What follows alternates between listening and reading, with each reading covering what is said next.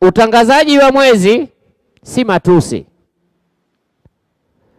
kukubali mwezi si vita, ila tuelewe hukumu ya sharia. Kisharia, kadhi ndiye mwenye hukumu ya, ya anayefaa kutangaza kadhi, na tutofautishe, lau mahala kuna mufti na mahala kuna kadhi, kutangaza mwezi si kazi ya mufti. Kutangaza mwezi ni kadhi ya nani? Kadhi.